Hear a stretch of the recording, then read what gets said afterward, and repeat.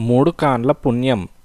ఒక గ్రామంలో సుబ్బిశెట్టి అనే వ్యాపారస్తుడుండేవాడు అతని ప్రాణానికి డబ్బుకి లంకే అతని భార్య మీనాక్షికి భర్త పిసినారితనం నచ్చేది కాదు కానీ భర్త బుద్ధి తెలిసి సాధ్యమైనంత వరకు డబ్బు ఖర్చు చేసేది కాదు. అయితే ఆమె ధర్మకార్యం ఏదైనా చేయదలిచినప్పుడు భర్త చేత పట్టుబట్టి ఖర్చు చేయించేది. అనుభవించడానికి బోలెడంత డబ్బుండి కూడా శెట్టి దంపతులకు సంతానం లేకపోవటం తీరని లోటుగా ఉండేది. పిల్లల కోసం మీనాక్షి చాలా దేవుళ్ళకు మొక్కింది పూజలు పుణ్యాలు చేసింది. వాటికి శెట్టి అభ్యంతరం చెప్పలేదు కానీ అవేవీ ఫలించలేదు. చివరకు మీనాక్షి ప్రాణం విసిగి తనకు సంతానం కలిగే దేవుడికి నిలువుదోపిడీ ఇస్తానని తన భర్తకు వ్యాపారంలో ఒక ఏడు వచ్చిన లాభంలో పైసా వాటా హుండీలో వేస్తానని మొక్కింది. మీనాక్షి ఇలా మొక్కుకున్న కొద్ది రోజులకు గర్భం ధరించి కాలక్రమాన పిల్లవాణ్ణి కన్నది. ఆ తర్వాత ఆమె శెట్టికి తను దేవుడికి మొక్కుకున్న మాట చెప్పింది. శెట్టి అదిరిపడి నీకేమైనా మతిపోయిందా? నిలువు దోపిడీ అంటే ఎంత లేదన్నా రెండు మూడు వేలు అవుతుంది ఆ పైన లాభంలో పైసా వాటా అంటే ఏమనుకుంటున్నావు? మళ్ళీ ఆ మాట ఎత్తకు అని అన్నాడు. మీనాక్షి నడుం బిగించి ఇదిగో ఈ విషయంలో మాత్రం మీరు కాదనటానికి వీల్లేదు. ఇది దేవుడితో కూడిన వ్యవహారం. బిడ్డకేదన్నా అనర్థం జరిగిందో నా శవం కళ్ళ చూస్తారు అని కోపంగా అన్నది. శెట్టి మారు మాట్లాడక అంగీకరించాడు. దేవుడు కోపిష్టి అని అతనికి భయమున్నది. సరే ఈసారికి నీ మొక్కు చెల్లిస్తాను గాని ఇంకెన్నడూ డబ్బుతో కూడిన మొక్కులు మొక్కుకోకు అని అతనన్నాడు. సరే నాకు మాత్రం తెలియదా? అని మీనాక్షి అన్నది. కొద్ది రోజుల అనంతరం శెట్టి భార్యతోనూ బిడ్డతోనూ దేవుడి దగ్గరికి ప్రయాణమయ్యాడు. మీనాక్షి నిలువుదోపిడికి అవసరమైన నగలు ధరించి లాభంలో పైసా వంతున దేవుడికి చెల్లించవలసినది వెయ్యి రూపాయలని శెట్టి లెక్క తేల్చాడు. లెక్కల విషయంలో పొరపాటు చేయవద్దు. అని మీనాక్షి అతన్ని హెచ్చరించింది. దారి ఖర్చులకు మరో వెయ్యి చేతబుచ్చుకొని శెట్టి ప్రయాణమయ్యాడు. ఇంటికి తాళం పెడుతుండగా శెట్టికి వీధి అరుగు మీద తిష్ట వేసిన ఒక బైరాగి కనిపించాడు. శుభమా అని ప్రయాణమవుతుండగా ముందీ బైరాగి వెధవ తారసిల్లడమేమిటి? అని శెట్టి వాణ్ణి తిట్టుకున్నాడు. శెట్టితో బైరాగి అయ్యా పుణ్యక్షేత్రాలకు వెళ్ళేటప్పుడు దాన ధర్మాలు చేసి బయలుదేరాలి.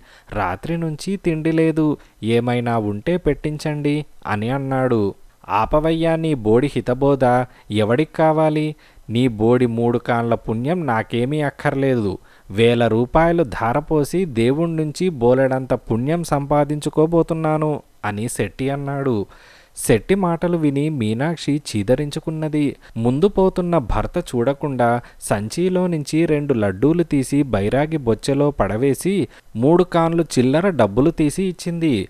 మీనాక్షి బైరాగికి డబ్బులివ్వటం శెట్టి చూడనే చూశాడు. ఆయన మీనాక్షి మీద మండిపడుతూ నువ్వు డబ్బంతా ఇక్కడే ఖర్చు పెడుతున్నావు. వచ్చేటప్పుడు అడుక్కు తింటూ రావాలి. తెలిసిందా? అని అన్నాడు. పోనీలేండి ఆ బైరాగి పొద్దుటనగా వచ్చి కూర్చున్నాడు. ఇంత తిండి పెట్టకపోయినా మూడు కాన్లు చిల్లర ఉంటే ఇచ్చాను అని మీనాక్షి అన్నది. పుణ్యక్షేత్రం చేరగానే కోనేట్లో స్నానం చేసి ఆలయంలోకి వెళ్ళబోతూ శెట్టి మీనాక్షి చేతికి వెయ్యి రూపాయలిస్తూ నా దగ్గర మరో వెయ్యున్నది. ఒక వెయ్యి హుండీలో వేసి రెండోది మన దారి ఖర్చుల కోసం ఉంచుకుందాం అని అన్నాడు. అలాగే అని మీనాక్షి అన్నది. దైవదర్శనమప్పుడు మీనాక్షి నిలువుదోపిడీతో పాటు భర్త ఇచ్చిన వెయ్యి రూపాయలు హుండీలో వేసింది. ఈ సంగతి తెలియక శెట్టి తన వద్ద ఉన్న వెయ్యి రూపాయలు కూడా హుండీలో వేసేశాడు. ఇద్దరూ బయటికొచ్చిన తర్వాత శెట్టి మీనాక్షితో డబ్బు జాగ్రత్త సుమా అంతా దొంగలే అని అన్నాడు. డబ్బు మీ దగ్గర ఉంచుకొని నన్ను జాగ్రత్త అంటారేమిటి? అని మీనాక్షి ఆశ్చర్యపోతూ అన్నది. వెంటనే జరిగిన పొరపాటు తెలిసిపోయింది. శెట్టి ఆలయం అధికారుల ద్వారా పొరపాటున హుండీలో వేసిన అదనపు వెయ్యి తిరిగి సంపాదించుకోవాలని చూశాడు. కానీ ప్రయోజనం లేకపోయింది. మీనాక్షి అతనితో మీరేదో అపచారం చేశారు. లాభాల్లో దేవుడికివ్వవలసిన వాటాలో దొంగలెక్కలు గాని వెయ్యలేదు కదా అని అన్నది. శెట్టి తలదించుకున్నాడు. ఇద్దరి వద్ద మిగిలిన చిల్లర ఒక రోజు ఖర్చుకు కూడా చాలదు. దారిలో ఉపవాసాలు చేస్తూ అవకాశం ఉన్నప్పుడు యాచిస్తూ అష్ట కష్టాలు పడి ఎలాగో వాళ్ళు ఇల్లు చేరారు. చాలా రోజులకు తిరిగి వచ్చిన శెట్టిని చూడటానికి అనేక మంది వచ్చారు. చిత్రమేమిటంటే వాళ్ళు బయలుదేరేటప్పుడు కనిపించిన బైరాగి ఇంకా అక్కడే ఉన్నాడు. ఆ బైరాగి శెట్టికి ఎదురు వచ్చి అయ్యా ప్రయాణం బాగా సాగిందా? అని అడిగాడు. శెట్టి చిరాకుగా ఆ బానే సాగిందిలే. దారి పొడుగునా అడుక్కు తింటూ వచ్చాం. సరేనా? అని అన్నాడు. అది మీరు వెళ్ళే ముందు అన్నమాటే కదండి. ఇక నేను వస్తాను అంటూ బైరాగి అక్కడి నుంచి కదిలాడు. తనకు మాలిన ధర్మం చేసినందుకు ఆ బైరాగివాడికి బాగా అయింది అని ఒక ఆవిడన్నది. ఎందుకలా అన్నారు? అని శెట్టి ఆవిడను అడిగాడు. ఎందుక?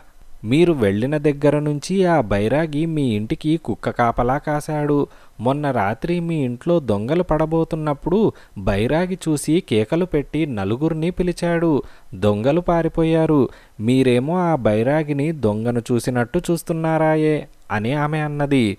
మూడు కాండ్ల బోడి పుణ్యం మన సర్వస్వాన్ని కాపాడింది అని మీనాక్షి భర్త ముఖంలోకి చూసి అన్నది. శెట్టి తన అవివేకానికి చాలా సిగ్గుపడ్డాడు. ఆ తర్వాత ఆయన దానధర్మాలు చేయటం కోసం డబ్బుకు వెనకాడక ఆ చుట్టుపక్కల మంచి పేరు తెచ్చుకున్నాడు.